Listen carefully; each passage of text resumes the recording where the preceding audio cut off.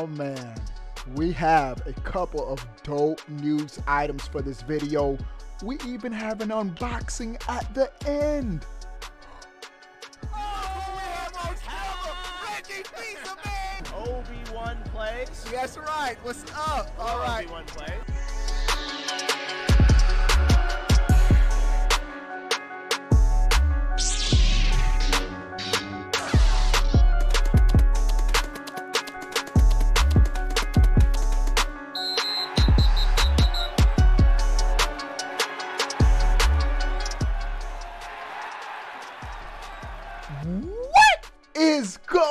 On, everybody? How are y'all doing? Before we get started, give the video a thumbs up, thumbs up, like, like, like. We have a couple of dope, dope, dope news items for this video, but the first thing we need to talk about is March is done. Today is the 28th, and April is right around the corner. If you have a next gen console, specifically PlayStation 5, let's look at the lit, lit, lit PlayStation 5 games for April to start off this video. And the first game I recommend if you have a PlayStation 5, even on Xbox, it's on Game Pass. Outriders. Outriders officially launches on April 1st and loving the demo. I've already mentioned it. This is the game that's actually keeping me away from Monster Hunter Rise. That's how good this game is, how much I'm enjoying this game. So it's a surprise sleeper hit from nowhere for me. And so Outriders, Outriders, made by um, the same developers of the Gears of War franchise. You, you could feel it, but a lot of cool added elements. Fingers crossed. I hope they add a PvP mode in this game. But Outriders comes out April 1st. Great game to start off your April. The next game, and I almost completely forgot about this game.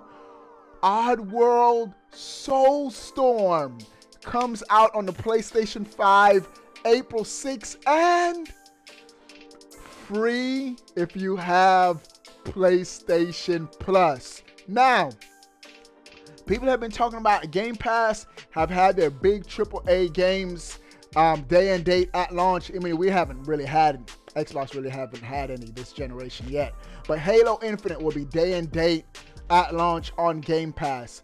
But Sony has had lesser titles. I would say B grade titles. Um, Bugsnax was free for PlayStation Plus members.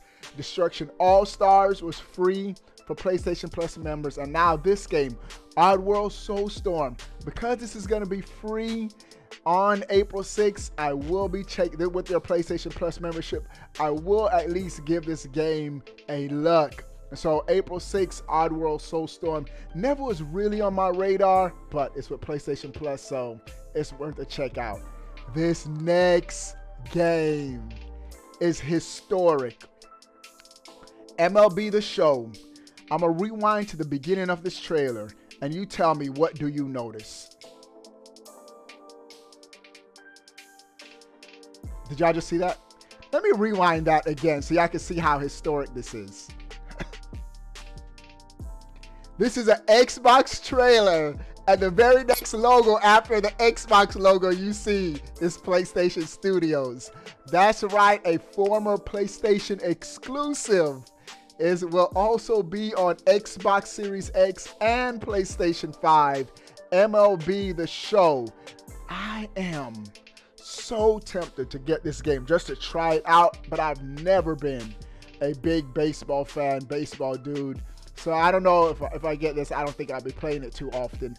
But MLB The Show 21 launches, launches, launches on April 20th and will be for the first time a multi-platform release. This is the best AAA baseball simulation type game. So if you're a fan of baseball, there you go. And it's a multi-plat. You can't beat that with a baseball bat. So, hey, Sony put in some of their exclusives on Xbox. Well, this one. Them Bethesda games. a couple of those Bethesda games probably be on PS5. We'll see. We'll see. We'll see. But to end out April, and probably the game I am most hyped. No, I'm, I'm still probably a little bit more hyped for Outriders. But Returnal. Returnal comes out April 30th. And this game looks amazing, bro. I say that all the time I see this game. It looks like a third person Metroid game. She's she's check out the story. She sent crash lands on an alien planet due to a, a mysterious signal coming from this alien planet, just like a Metroid story arc. And it's a female protagonist. She has on a visor suit. They definitely got inspiration from Metroid Prime with this game. Either way, I can't wait, can't wait, can't wait to play this game. It looks dope. It looks amazing. So Returnal is this is going to be a PS5 exclusive, only coming to the PlayStation 5, a true exclusive. Um, and the game looks dope. Triple A type quality game. Day one, day one buy Returnal at the end of the month. And a bonus game. Even though this is in May, it's at the beginning of May, so it sort of blends in. Resident Evil Village comes out May 7th. I'll probably pass on this game. Never been a fan of Resident Evil games, but uh, the game does look cool. Now, talking about PlayStation 5 games, you first need to get a console in order to play the games and check out this news item. Coming from GameSpot, the article is titled Global Chip Shortage is reaching a crisis point as PlayStation 5, Xbox Series X remain difficult to find. And according to this article, the chip shortage is likely continue for a while longer now that it's re- reached a crisis level. For those of you that don't know, one of the reasons why the PlayStation 5, Xbox Series X is in short supply, there's a global semiconductor chip shortage globally and it's directly affecting the production of these consoles. But it's not just Sony and Xbox competing for this, but these same chips are in cars and different devices that we use every day. And so there's global competition to try to get uh, these chips into devices. And according to this article, it's now at a crisis level. So, I said this before, I say it again. Whenever you see a PlayStation 5 available and you don't have one, don't say, ah, I'll probably just wait next week or two weeks on the next shipment. Get it while you can, bro. All right. Last thing for this video, we got the Monster Hunter Rise Pro controller. Man, I should have I should have brought all my Pro controllers in for this video. I have every single Pro controller that's ever been released, officially licensed by Nintendo. Go and check out my uh, Obi-Wan Plays Game Room Tour. It's all there, bro. It's all there. All right, here it is. Box art is dope. Of course, we're going to keep the box for the game room. And inside, you have something that holds it. You have a charge cable and the controller. Let's check it out. Let's look at it for the first time. And it looks clean. Clean, clean, clean. Here it is. The Monster Hunter Pro controller. And it feels good, looks good, feels good, looks good, feels great. So, Monster Hunter Rise game just launched on the Switch. I probably still would be playing it. That with Outriders, but I'm liking this Pro Controller. I'm going to give this Pro Controller a spin today. I don't know what I'm, I'm, I'm going to play something on the Switch today. All right, dudes. What do you guys think about everything we talked about in this video? Now, do you have a pro controller, Monster Hunter Rise, the game? What do you guys think about everything we talked about? Sound off in the comment section below. I want to know. But before you go, bro, click that subscribe button. Stay up to date. All things gaming, bro. We out. Peace. You still watching this video?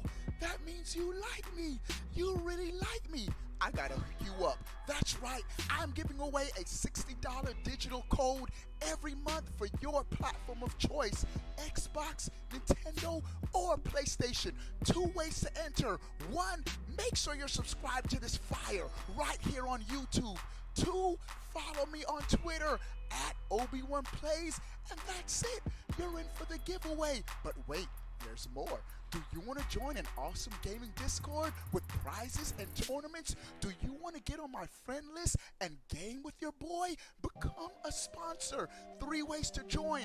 One, subscribe on Twitch. If you have Twitch Prime, you can do it for free. Two, click the join button right here on YouTube and become a member. And the third way to join, patreon.com backslash Obi-Wan Plays. You'll thank me later. Also, check out the Swag Bro. Links are in the description. I'll see you later. Deuces.